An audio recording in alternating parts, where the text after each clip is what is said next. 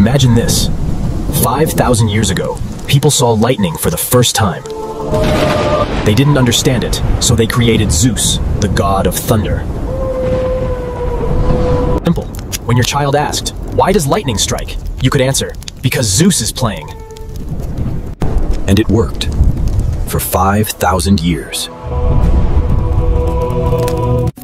Until science came along.